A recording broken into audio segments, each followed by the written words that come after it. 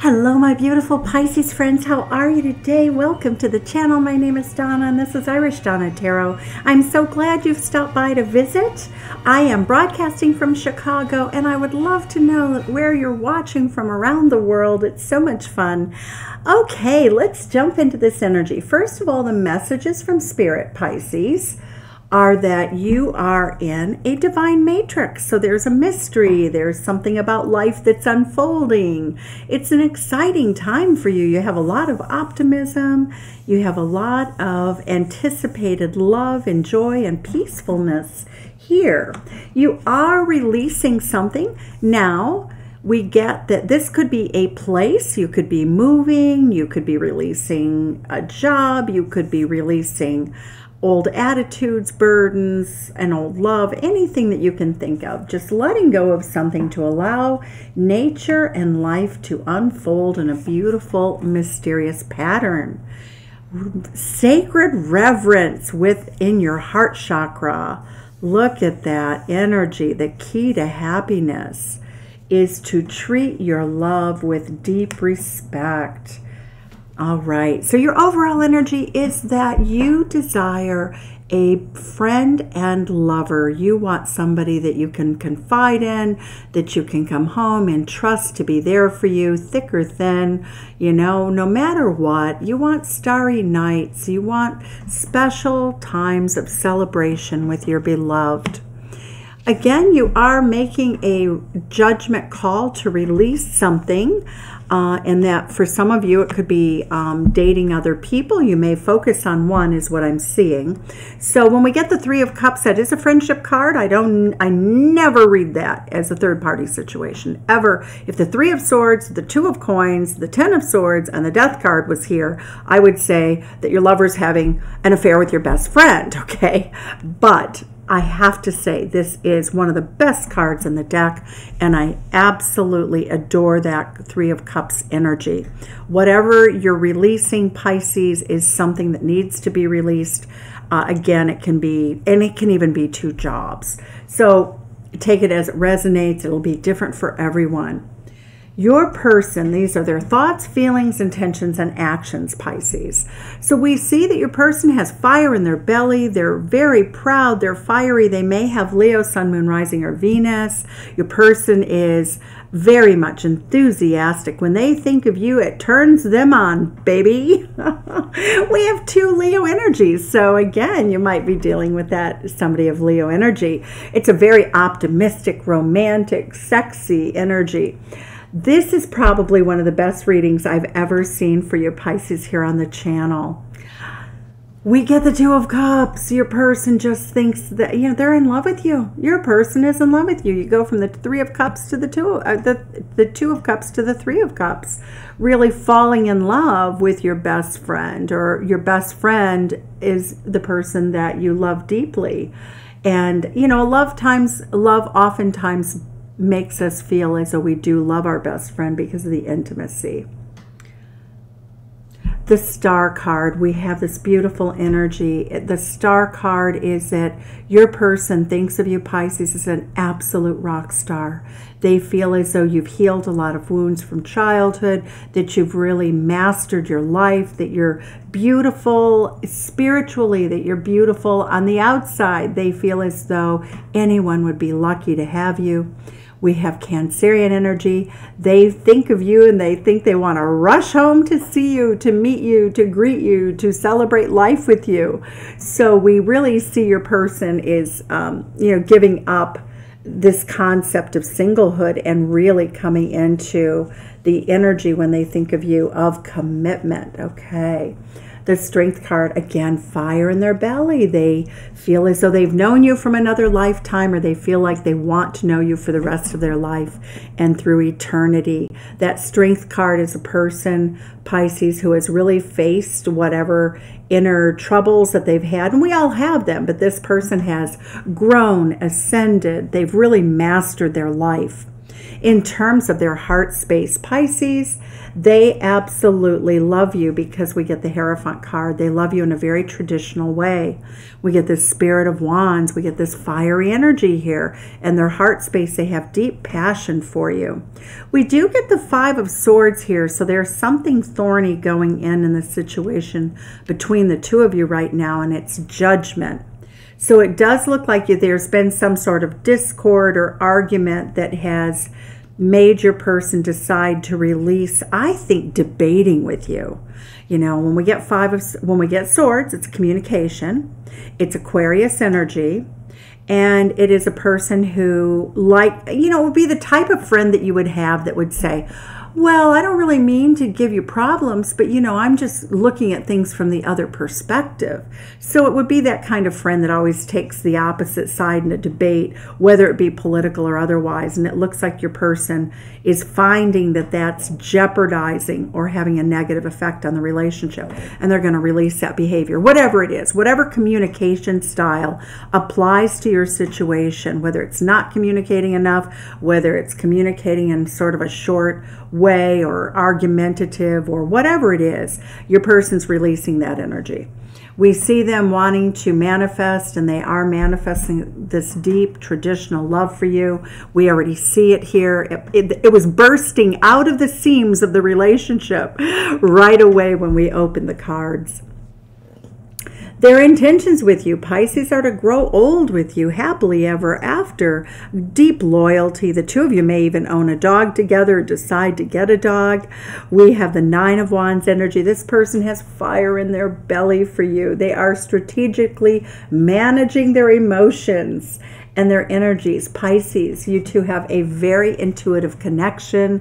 I would say that you sometimes speak the same thing at the same time comes out of your mouth. It's that epiphany, it's that um, synchronicity. Your person absolutely deep love for you. And the heart of swords is they have had time to think logically about this relationship and they feel totally safe and happy and joyful to put themselves out there to strategically work to the outcome that they want, which is clearly a long term committed relationship. Pisces in terms of their actions. They see you as single, ready to mingle, but there is some husband energy here. And husband energy is just nurturing daddy energy. This person has great passion for you. They want the stability of owning a home with you. They have a dog, they bring good money into the relationship, and they are absolutely in love with you. So their action is to love you. You have the ace, the two, and the three of cups. That is a beautiful gift along with the Queen of Cups. Your person has a great deal of clarity, Pisces, about why they love you. You're mysterious, you're unique. You allow them to freely float, you know, in your emotions, to not fight them. There's something about this person, Pisces, um, that they feel as though you accept them for who they really are and love them. So, Two of Cups, Two of Cups. Three of Cups, I mean, you know, the Ace of Cups. There's so much love here, and we can really see the sacred reverence energy in this relationship. Let's see what this energy is here of the Five of Swords, because it's the, you know, we only have a couple of cards that are of concern to me that I'd like to um, delineate more. So let's see, why do you have the Five of Swords here? It looks like you're both guilty of it since there's two Five of Swords cards. Why do you both sort of have this energy of debate? Uh, sometimes you don't understand each other. Okay, well, debating until you have clarity is okay. Seven of Cups says that sometimes you really just don't get where the person's coming from. The Seven of Cups, though, can be keeping your options open. So in the heart space, you know, Pisces, it does look like that may have been something if it's a fairly new relationship. Now we have this Five of Swords is clarified by temperance, wanting to come together. There's your release, okay? The release of confusion, juggling, maybe dating other people or having any other options open or anybody that the, you know, you're even communicating with. It can even mean taking down an old dating profile that might have been around for a long time, even if inactively. So let's see what we have. Why is the Seven of Cups here? The movement of swords. Okay, so you have a tendency to like a lively debate, uh, but you're really finding that sometimes it gets a little bit raw.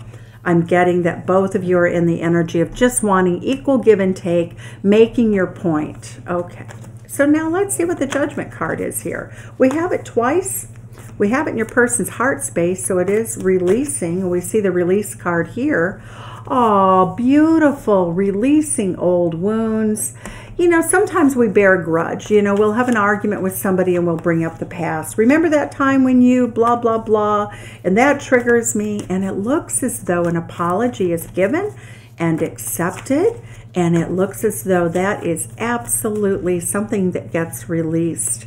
It's sadness. Look at releasing yourself to be open for the transformation of the Twin Flames card. That is the Naked Heart Tarot deck that I'm using, and that deck is unique in that it's the only deck that I own, and I own many, as you can only imagine, um, that has a number 22, 11, 11. So your person is releasing into the energy of work, being willing to work on this relationship, recognizing that there is a special aspect of your relationship that has required you to overcome um, weakness or boredom. You know, you really do have to work for the relationship to manifest the beautiful energy of ascension Yep, it's giving up, just releasing negative behavior.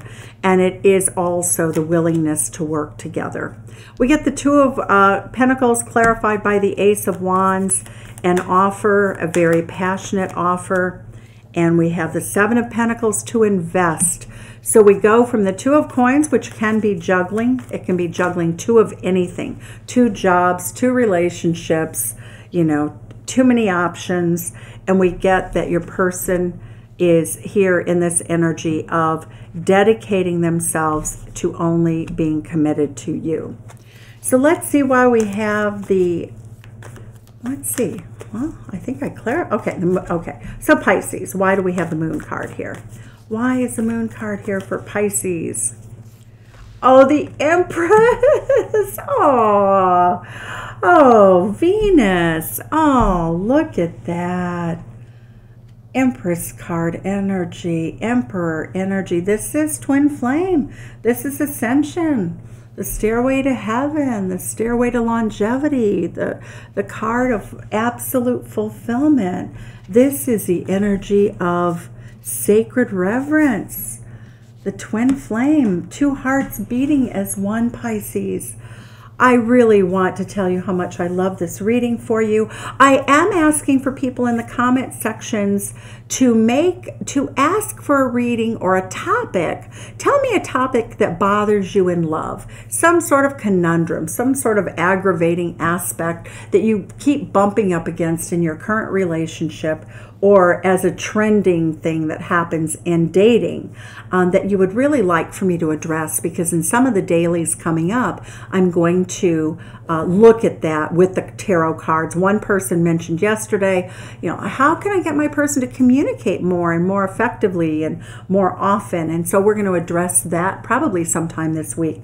But please share with me. This is really an open forum, open dialogue. I love comments and I do answer them. Sending you love from Chicago. Please send some back and tell me where you're from.